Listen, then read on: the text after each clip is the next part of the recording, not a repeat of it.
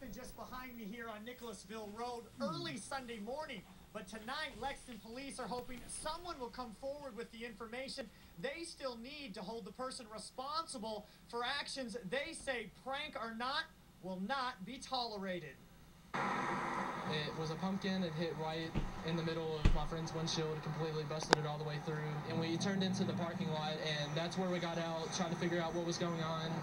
That's when the cops came. UK sophomore David Norton was a passenger in the car. saw it coming, but I mean, it was too late to uh, avoid it or anything. He says the pumpkin was launched from a party at this home on Nicholasville Road while he and his friend Lindsay, who was driving at the time, we were heading to a local store. It was more of like a big shock than anything, because like if you're driving on the road, the last thing that you think of is a pumpkin hitting your windshield. Luckily, David and his friend were not seriously hurt in all of this, but he realizes there could have been a totally different outcome. In the end, we were fortunate, but it's it's still. It's my picture. that it happened.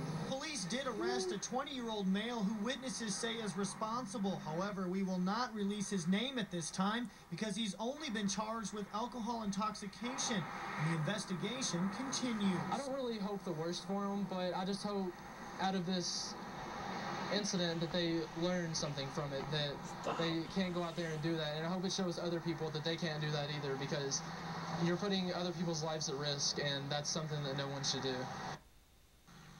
And Lexington police are questioning several people right now about this incident, and they are confident they will make an arrest soon. The offense at hand carries first degree wanton endangerment charges, which is a Class D felony, which means whoever is convicted in this case could face up to five years in prison.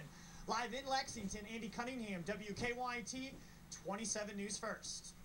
And you saw that windshield. The pumpkin caused several thousand dollars in damages to that car.